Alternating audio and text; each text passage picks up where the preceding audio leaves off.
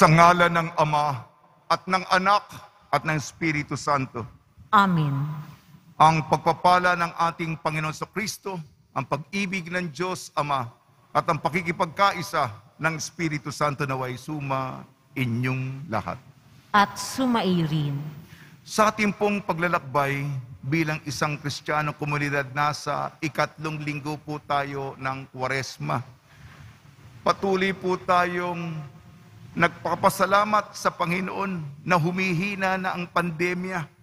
Sana po matuldukan na po itong salot na ito. Mahigit dalawang taon na po itong pinagdaraanan nating ito. Sa mga namatay sa coronavirus, sumalangit nawa sila. Sa mga may sakit, gumaling nawa sila. Gayon din ipagdasal natin. Meron tayong special na collection para sa kanila. Kapayapaan. At sa ating ebanghelyo, ang salita ng Diyos, tinatawag tayong mamunga. May alay tayong bunga ng pagmamalasakit, ng kabutihan, mga gawain ng solidaridad, pagtulong sa ating kapwa-tao. Mga kapatid, aminin po natin ating makasalanan upang tayo maging marapat gumanap sa banal na pagdiriwang. Inaamin ko Sa makapangyarihang Diyos at sa inyo mga kapatid, na lubha ako nagkasala sa isip, sa salita at sa gawa at sa aking pagkukulang, kaya isinasamo ko sa, sa mahal na Birihing Maria, sa lahat ng mga anghel at mga banal at sa inyo mga kapatid na ako'y panalangin sa Panginoong ating Diyos. kaawaan tayo ng makapangyarihang Diyos. Patawarin tayo sa ating makasalanan at patnubayan tayo sa buhay na walang hanggan. Amen. Panginoon, kaawaan mo kami. Panginoon, kaawaan mo kami. Kristo, kaawaan mo kami. Kristo, kaawaan mo kami. Panginoon, kaawaan mo kami. Panginoon, kaawaan mo kami. Manalangin tayo. Ama naming makapangyarihan, ikaw ay maibigin at butihin sa tanan. Itinuturo mo na ang lunas sa kasalanan ay nasa kusang pagpapakasakit, pagdalangin at pagmamalasakit. Tunghian mo ang aming pag-amin sa nagawang pagsuwahi upang sa pagpapatirapan ng aming budhi sa iyong harap, kami lagi mong maibangon dahil sa iyong pag-ibig na tapat sa pamamagitan ng Kristo, kasama ng Espiritu Santo, magpa sa walang hanggan. Amen. Magsiupo muna po ang lahat. Pagbasa mula sa aklat ng Eksodo. Noong mga araw na iyon, si Moises ang nag-aalaga sa kawan ng binan niyang si Hetro. Minsan, itinaboy niya ang kawan pabagtas ng disyerto at nakarating siya sa Horeb sa bundok ng Diyos. Doon, ang anghel ng Panginoon ay napakita sa kanya, parang ninga sa gitna ng isang mababang punong kahoy. Kitang-kita ni Moises na nagliliyab ito, ngunit hindi nasusunog. Kaya't nasabi niya sa kanyang sarili, Katakataka ito. Tingnan ko ngang mabuti kung bakit di nasusunog gayong nagliliyab. Nang lalapit na si Moises, tinawag siya ng Panginoon buhat sa nagliliyab na punong kahoy. Moises, Moises. Ano po iyon? Sagot niya. Sinabi ng Diyos, Huwag kang lumapit. Hubarin mo ang inyong sandalyas sapagkat banal na dako ang kinatatayuan mo. Ako ang Diyos ng inyong mga magulang, nina Abraham, Isaac, at Jacob. Tinakpan ni Moises ang kanyang mukha pagkat natatakot siyang tumingin sa Diyos. Sinabi sa kanya ng Panginoon, Nakita kong labis na pinahihirapan ng mga Ehipsyo ang aking bayan. Alam ko ang hirap nilang tinitiis at narinig ko ang kanilang daing. Kaya bumaba ako upang sila'y iligtas, ialis sa Ehipto at ihatid sa lupaing mayaman, malawak at sagana sa lahat ng bagay. Sinabi ni Moises, Pupunta ako sa mga Israelita at sasabihin ko sa kanilang, ako'y sinugo ng Diyos ng aming ninuno. Ngunit, ano po ang sasabihin ko kung itanong nila kung sino ang nagsugo sa akin? Sinabi ng Diyos, ako'y si ako nga. Sabihin mong sinugo ka ni ako nga ng Panginoon ng Diyos ng inyong mga ninuno, ng Diyos ni na Abraham, Isaac at Jacob. At ito ang pangalang itatawag nila sa akin magpakailanman. Ito rin ang pag-alaala sa akin ng lahat ng salinlahi. Ang salita ng Diyos. Salamat sa Diyos. Ang ating mahabaging Diyos ay nagmamagandang loob. Ang ating mahabaging Diyos ay nagmamagandang loob. Panginooy papurihan, purihin mo kaluluwa. Ang pangalan niyang banal, purihin mo sa tuwina.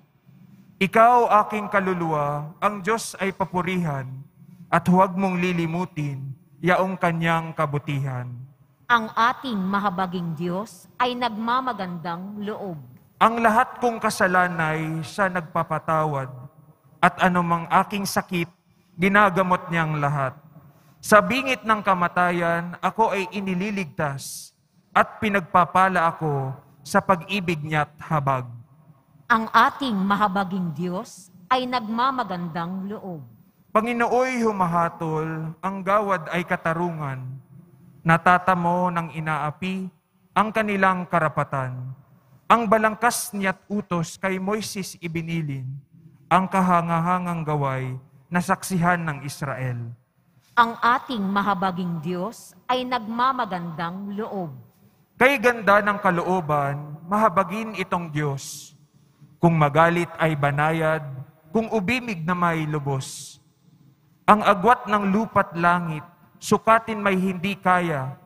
Gayon ang pag-ibig ng Diyos sa may takot sa Kanya. Ang ating mahabaging Diyos ay nagmamagandang loob.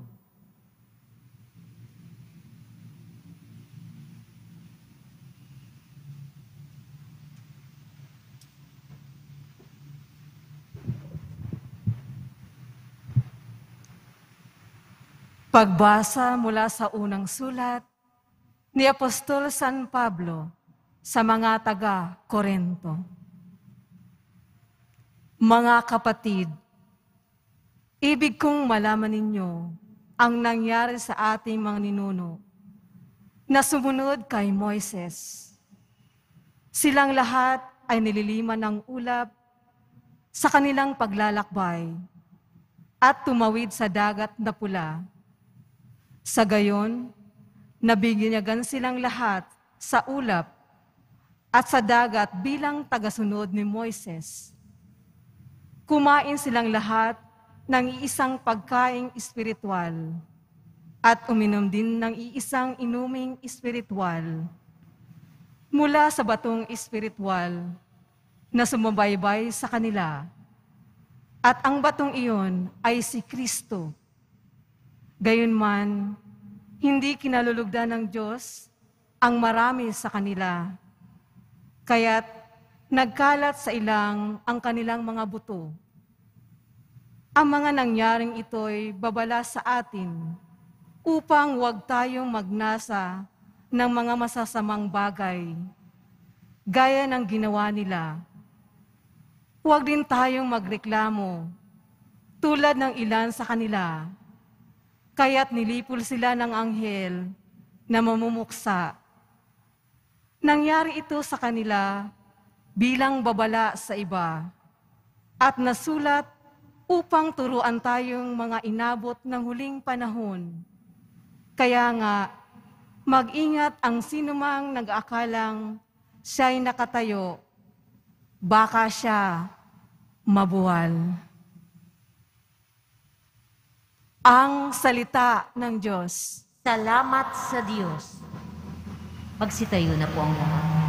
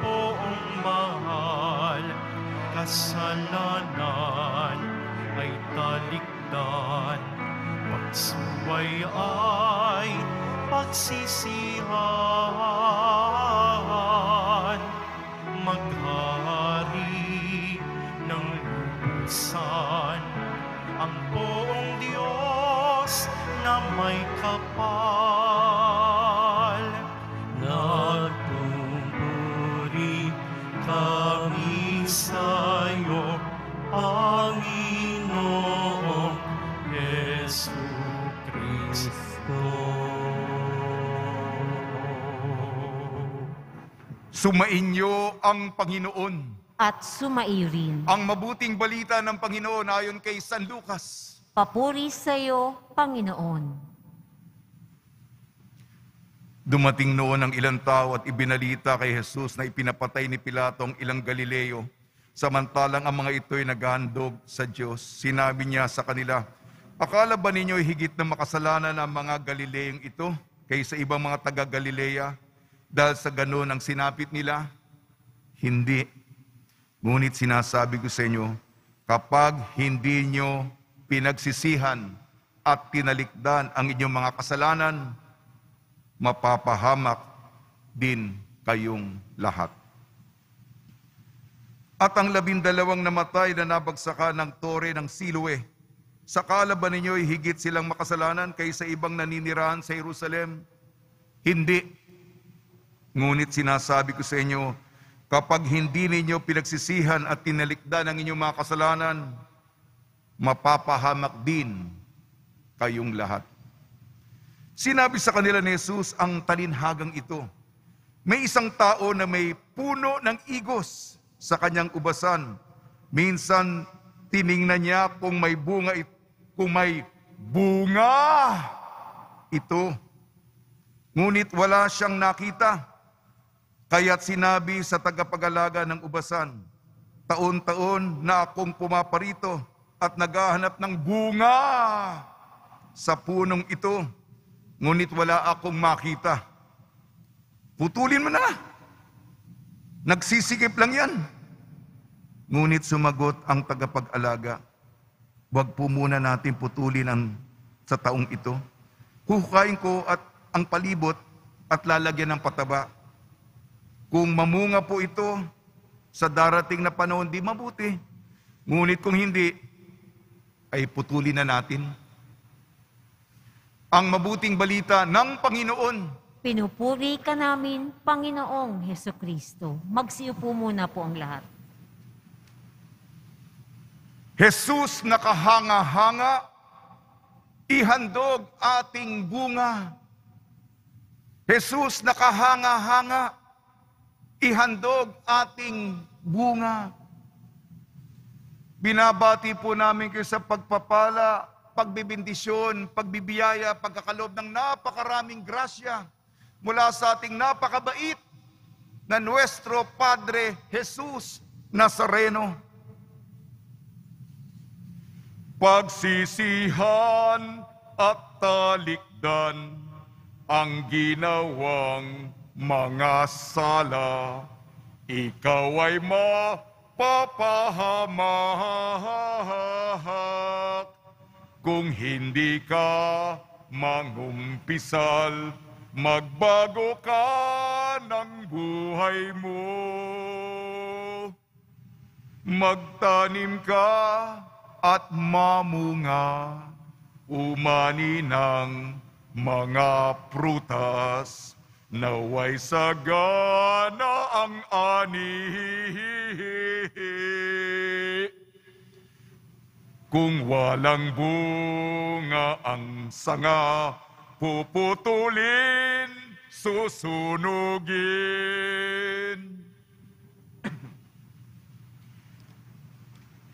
Mapapansin po ninyo sa inyong likuran, sa kauna-unahang pagkakataon, sa mahabang panahon, sa simulat sa pool, ayon sa isang ihos natin na ang tatay ay sakristan mayor nung una pa. Mamaya po, kung magandang panahon, ipoprosesyon po natin itong mga imahin. Kadalasan po, pinoprosesyon natin si Kristo, ang Nazareno ngayon. Yung buong eksena, yung buong mga yugto ng pagpapakasakit, kamatayan, at pagkabuhay ng Panginoon. Halos 25 behikulo. Mamaya, imbitado po kayo pagkatapos ng misa ng bayan, pro populong misa. Pagpapakasakit, kamatayan, at pagkabuhay, itong pinaghahandaan natin ngayong kwaresma. Sa ating mga pagbasa, may patungkol dito. Unang pagbasa, Exodo. Pangalawang pagbasa, Unang Korinto. Sapagkat yung bayan ng Diyos nung panahon ni Moises, yung kanilang pagpapakasakit, yung opresyon sa Ehipto, yung tagumpay ng pagkabuhay, yun ang ipinangakong lupa, lupa ng pulok-pukyutan at gatas. At ang kamatayan, dadaan sila sa pulang dagat. Kaya may mga patungkol, kaya yung mga pagbasa natin mayaman. Alalahanin natin na ang tawag sa atin, ang pagpapakasakit, kamatayan at muling pagbubuhay ng Panginoon, nawa mapa sa ating akuin natin, maging kwento ng buhay natin. Ang ating ebanghelyo, may puno ng igos, yung may-ari ng taniman ng halamanan. Tatlong taon na. Nagmamasid, nagbabalik-balik. Unang taon, wala pang bunga. Pangalawang taon, wala na naman. Nainip na, nainip na. Naubusan na ng pasensya. Pangatong taon, ay, nakakasikip na ito. Tinawag niya yung hardinero, yung tagapangalaga. Ah. Putulin na natin ito. Nakiusap po ang tagapag-alaga. Ah. Mahal pong may-ari, kung maaari lang po, magbibigay ako ng suhestyon. Ano yan? Ano yan? Ano yan? Ah, maghintay po tayo ng isang taon. Sisikapin ko po. Ah, maguhukay ako sa palibot ng punong kahoy na ito. Didiligan natin, aalagaan ko, lalagyan ko ng pataba. Eh kung may bunga sa susunod na taon, eh di mabuti. Pero kung hindi po, ay putulin na natin. Ito po'y babala Sapagkat may talinaga, hindi naman tayong yung butil na napadpad sa daan. O kaya yung ah, mababaw yung, ah, yung lupa. O kaya nakinitil ng mga dawag. Sinabi naman, eh lumago naman ako. Tumubo naman ako. Naging punong kahoy. Eh sabi ng Panginoon, nasaan ang iyong bunga? Eh wala. Putulin ka na. Puputulin, susunugin. Yan po mga kapatid. Ito ang punong kahoy sa ating ebanghelyo ayon kay San Lucas. Medyo negatibo po. Ah, dumako tayo, positibo naman ang imahin sa ating unang pagbasa Exodo. May punong kahoy.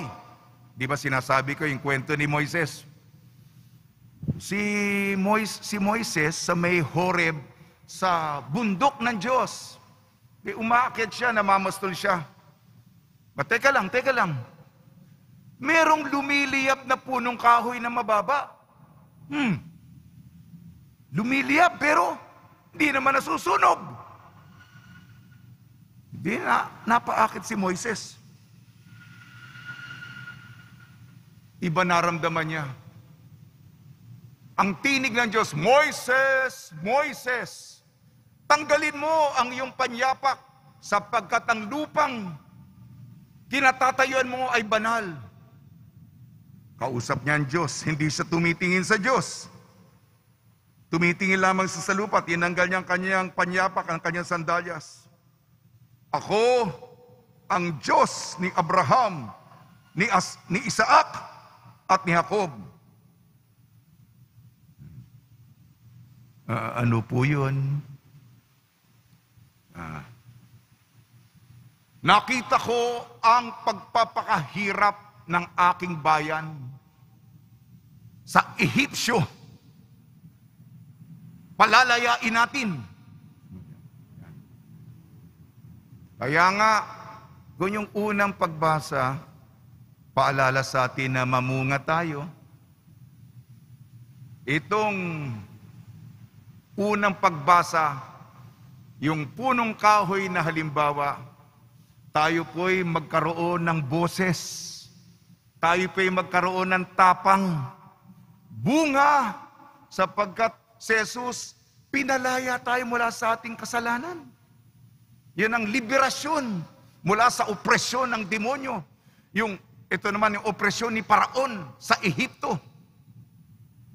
Kaya nakilahok, umuo, pumayag, sumunod si Moises. Ah, yun po ang pinakadiwa ng ating mga pagbasa. Eh, tumutula lagi ako, meron akong, para hindi nyo makalimutan, buto, butil, at bunga. Ah, para maalala, buto, butil, bunga.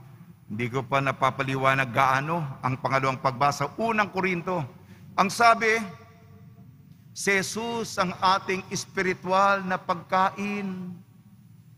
Si Jesus ang espiritual na inumin, yung sa misa, yung Eucharistia, siya ang tinapay at alak. Kaya nga mga kapatid, yung buto, yung buto ng ubas. Eh ngayon, yung mga ubas ngayon ay seedless na. Yung, di ba, may ubas na masasarap, yung, yung may buto, yung para itatanim natin. Yan. Buto ng ubas. At palalaguin mo yung ubas, di ba? Dapat yung mga bunga, matatamis, delisyoso. Kasi gagawin nating alak. Iinom ang ating mga kapatid, ang ating mga brad. Magiinuman tayo. Alak. Masarap dapat ang alak natin. Aalagaan natin yan. At yung spiritual na inumin, di ba? Ayan, sa misa, mayroong tinapay at alak. At butil. Butil ng trigo. Sa Ingles, grain of wheat. Butil ng trigo. At mula sa trigo, gagawin itong tinapay. Di ba? Na magiging pagkain natin. Kaya ayaw ng Diyos yung gutom, ayaw ng Diyos yung uhaw, ayaw ng Diyos ang kawalan. Imbis na gutom, pagkain. Imbis na uhaw, inumin. Imbis na kawalan, kasaganahan. Muli, buto, butil, bunga. Yung buto ng ubas, itatanim natin, alaga, naging maging yung ubasa na sagana. Gayon din yung butil ng trigo, grain of wheat, hanggang yung, yung ubas, gagawin nating alak. Yung trigo, gagawin natin tinapay. At yung bunga natin, ang alay natin, ang handog natin, ang oblasyon natin, sa sakramento, tinapay at alak, simbolo ng pakikiisa natin sa isa't isa. Sige po. Yun na po. Naibahagi ko na po. Tutula na po ko. Langit ay pahinga. Ah, puro bunga, bunga, nga. Langit ay pahinga. Buksan mo ang tenga. Huwag ka maging tanga. Huwag kang nakanganga. Alisin ang tinga. Bawal ang suminga. Marami ang mga. May alak sa banga. Diyos ang siyang ako nga. Siyang nagbigay hinga. Siyang kumakalinga. Sigaw ng bunganga. Galawin ang panga. O kahanga-hanga. May prutas sa sanga. Sagana ang bunga. Bunga, espelengin ng bunga. B, U, N, G, A, bunga. B, banal, banal na buhay ang ibigay kay Kristo. Banal na buhay ibigay kay Kristo. U, ubas na matamis ay ialay. Ubas na matamis ay ialay. N, nag-aalaga sa halamanan ng Diyos.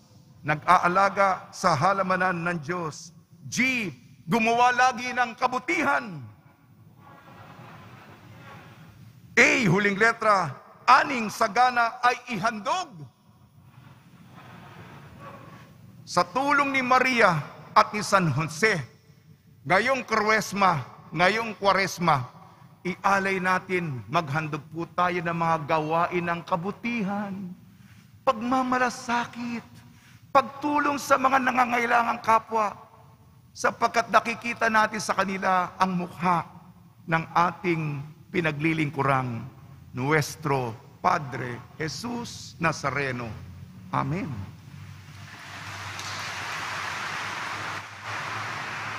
Magsitayo na po ang lahat. Sumasampalataya ako Sa Diyos, amang makapangyarihan sa lahat, na may gawa ng langit at lupa.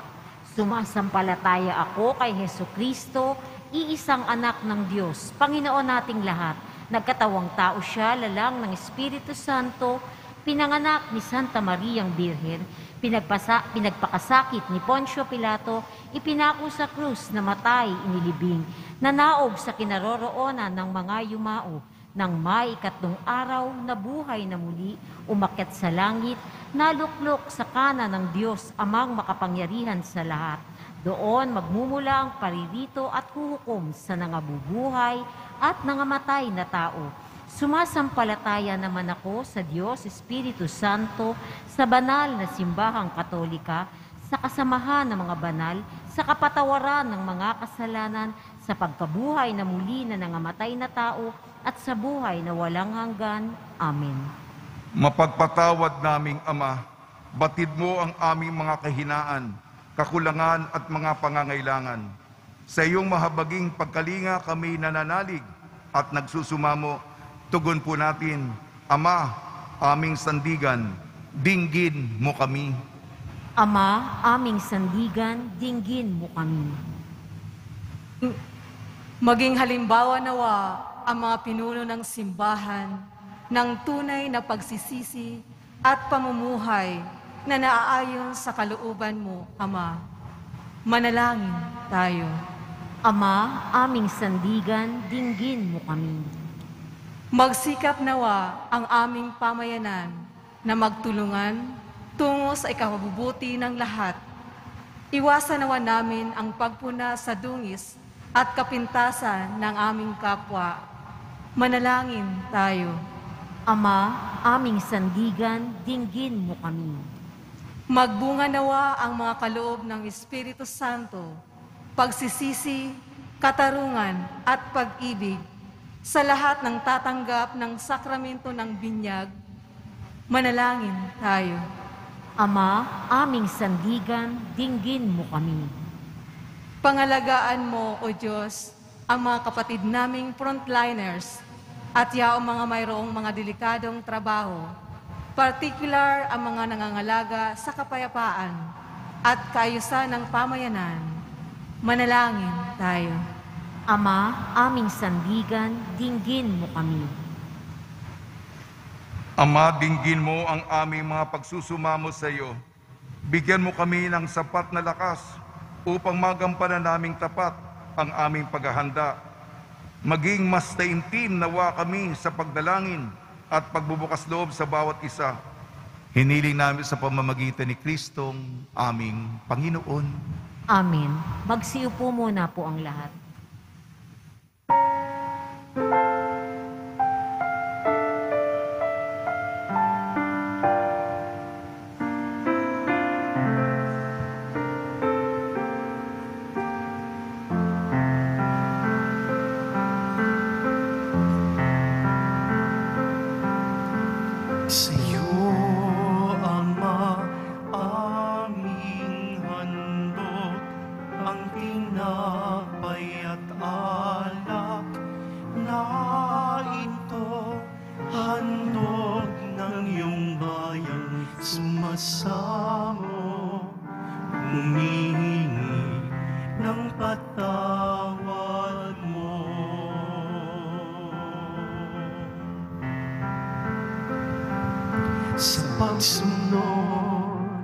sa utos mo. Nalulugod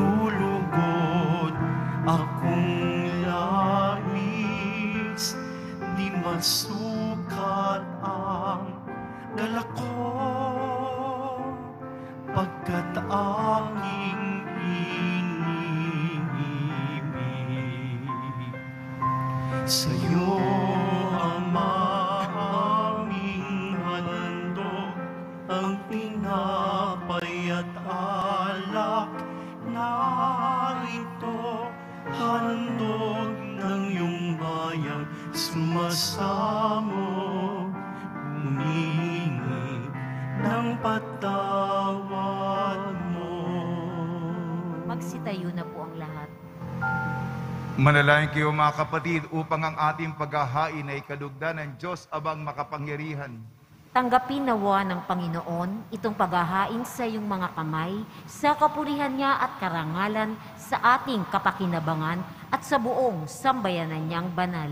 Ama namin lumikha, kalugdan mo ang aming paghahain upang ang mga kasalanan naming inihihingi ng kapatawaran sa iyo ay matutuhan din naming ipatawad sa kapwa-tao sa pamamagitan ng Kristo kasama ng Espiritu Santo magpasawalang hanggan.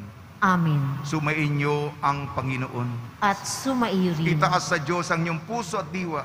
Itinaas na namin sa Diyos. Pasalamatan natin ang Panginoong ating Diyos. Marapat na siya ay pasalamatan.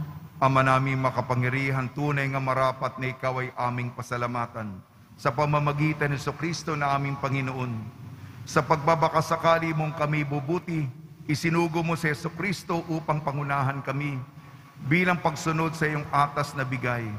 Ipinahayag ng iyong anak ang iyong kalooban na mga apit dukha ay kanyang damayan. Ngayon ay iyong inihahandog ang pagkakataong aming maisaloob ang kanyang ganap at kusang paglilingkod upang sa iyo'y lagi kaming makasunod.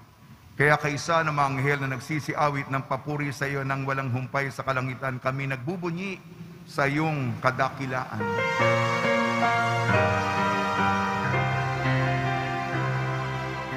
Santo, Santo, Santo, Panginoong Diyos ng mga hukbo, napupuno ang langit at lupa ng kadakilaan mo. O sana, o sana, o sana sa kaitaasan. O sana, o sana, o sana sa kaitaasan. Pinagpala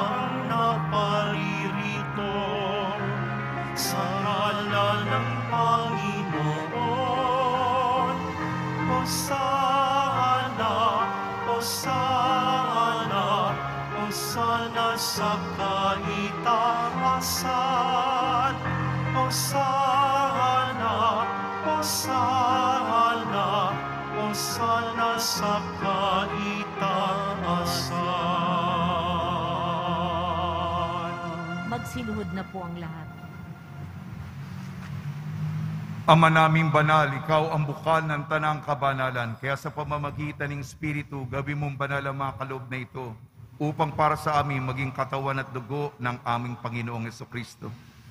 Bag niyang pinagtiis ang kusang loob na maging handog, hinawakan niya ang tinapay. Pinasalamatan kanya.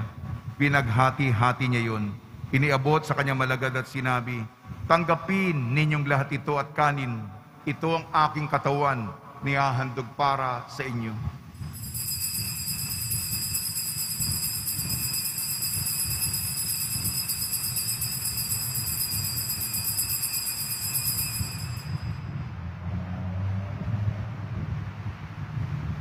Gayun din naman nung matapos ang hapunan, hinawakan niya ang kalis, muli kanyang pinasalamatan. Inibot niya ang kalis sa kanyang malagad at sinabi, Tanggapin ninyong lahat ito't inumin. Ito ang kalis ng aking dugo, ng bago at walang hanggan tipan. Aking dugo na ibubuhos para sa inyo at para sa lahat. Sa kapagpapatawad ng makasalanan, gawin ninyo sa pag-alala sa akin.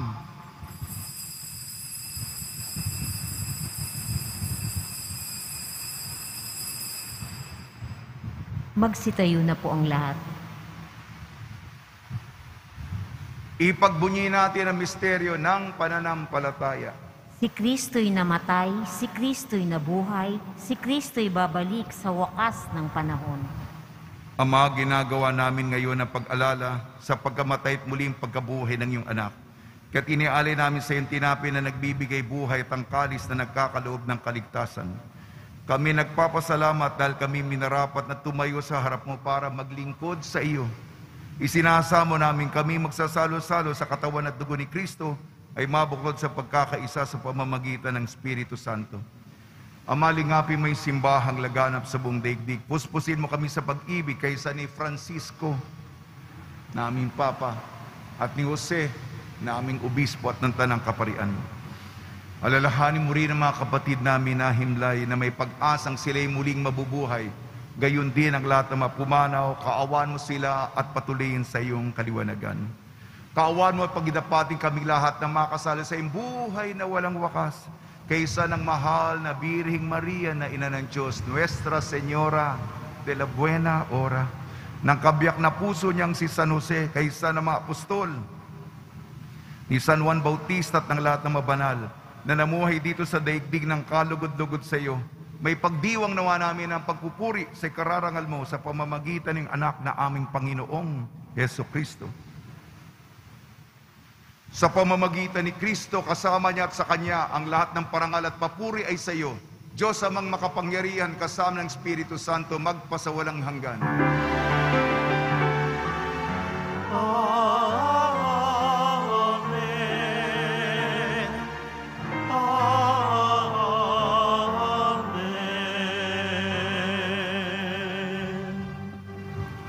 Sa tagubili ng mga nakakagaling na utos at turo ni Yesu, Yesu Kristo na Panginoon natin na Diyos, ipahayag natin ang lakas loob.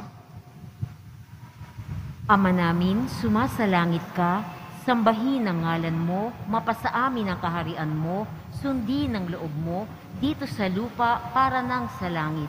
Bigyan mo kami ngayon ng aming kakanin sa araw-araw at patawarin mo kami sa aming mga sala para nang pagpapatawad namin sa nagkakasala sa amin.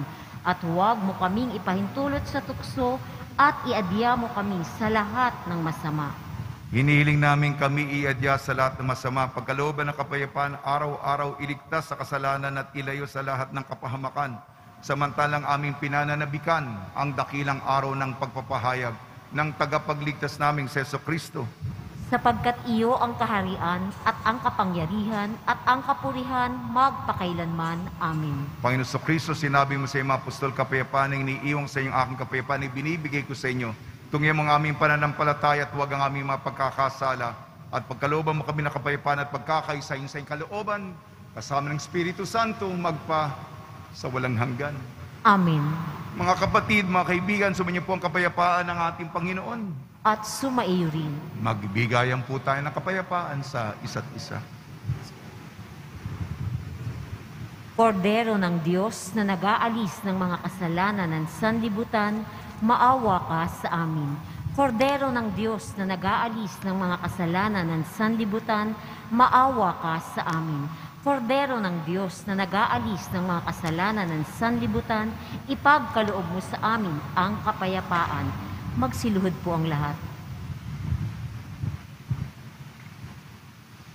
Ito ang kordero ng Diyos, ito nag-aalis ng kasalanan ng sanlibutan, mapalad mga inayayahan sa kanyang piging. Panginoon, hindi ako karapat-dapat na magpatuloy sa iyo, ngunit sa isang salita mo lamang ay gagaling na ako.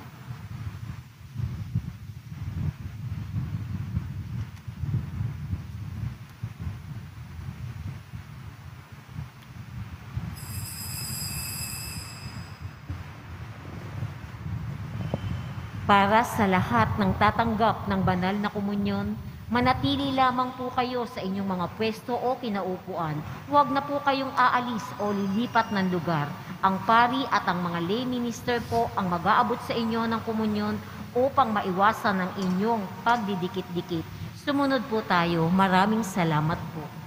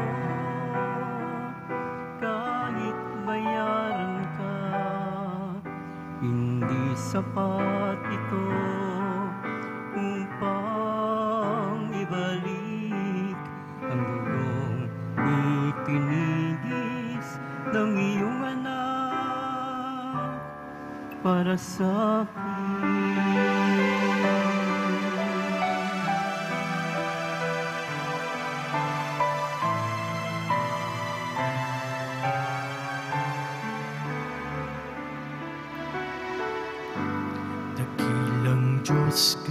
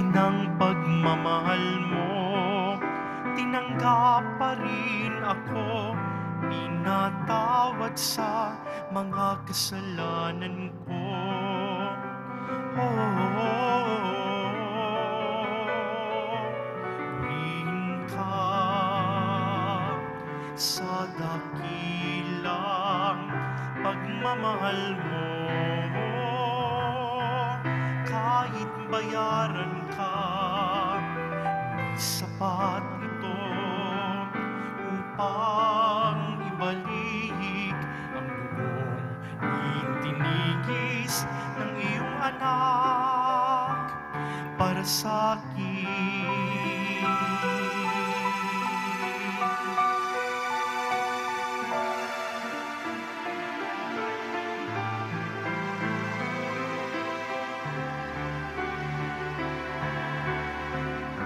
Salamat po, Panginoon, dahil sa pag-ibig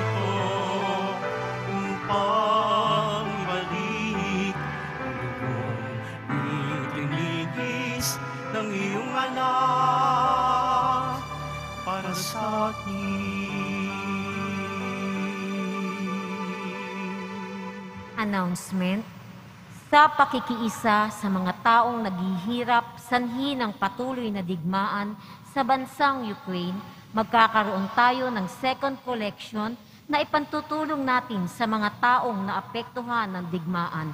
Tumulong po tayo. Maraming salamat po.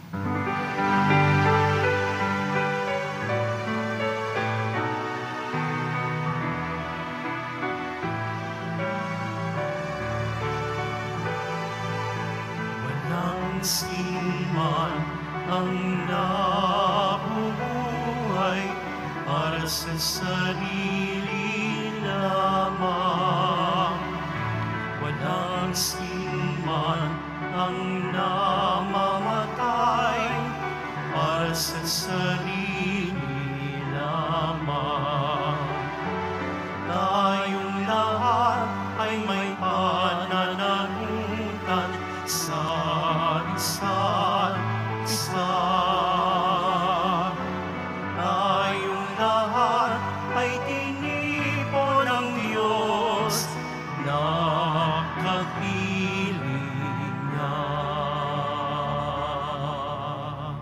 Pagkatapos ng misa, wiwisikan po ang lahat ng banal na tubig. Pinakikiusapan ng lahat na manatili lamang muna kayo sa inyong mga lugar o kinaupuan. Pagkatapos ng pagwiwisik, mangyari lamang na maupo muna ang lahat na nasa loob ng simbahan at hintayin banggitin ang grupo ng kulay ng inyong inuupuan bago kayo lumabas ng simbahan. Tanging sa Quezon Boulevard lamang ang labasan ng lahat panatilihin natin ang physical distancing sa bawat isa. Sumunod po tayo. Maraming salamat po sa inyong pagdalaw at pagsisimba sa Basilica Menor ng Itim na Nazareno. Magsitayo na po ang lahat. Manalangin tayo. Ama namin mapagmahal sa pakikinabang namin sa iyong banal na piging. Pinagsalo, saluhan namin ang bigay mong pagkain. Ang ginaganap namin ngayon sa pagdiriwang ay lubos nawang mangyari sa gawain namin araw-araw sa pamamagitan sa Kristo kasama ng Espiritu Santo magpasawalang hanggan. Amen. Pagbabasba sa mga deboto ng kanilang mga kahilingan at dasalan, mahal na pong Jesus Nazareno, inayag mo sa pamamagitan ng krus ang walang maliw na pag-ibig ng Diyos sa sangkatauhan. Pakinggan mo ang kahilingan na iyong ka na nagsusumamo sa iyo. Makamtanawa nilang iyong katugunan at tanggapin ang kasagutan na may utang na loob na tinatanaw. Basbasan din po niyo mga daladala nila mga imahin at dasalan sa pamamagitan ng bendisyon na ito, naway maalala ng mga pangal sa binyang na ikaw at pagliling ko ng bilang Panginoon, magpa sa walang hanggan. Amen. Araw-araw po akong nagbibigay ng ulat sa inyo. Sumainyo ang Panginoon At sumaiyo at pagpalain kayo ng makapangyarihan Diyos, Ama, Anak at Espiritu Santo. Amen. Paglayin po ninyo sa inyong pagalis ang kapayapaan ni Yeso Kristo. Salamat sa Diyos.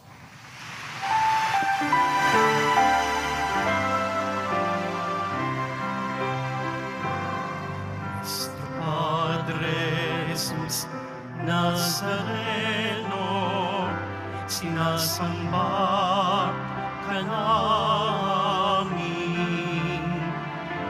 Pinipintuho ka namin.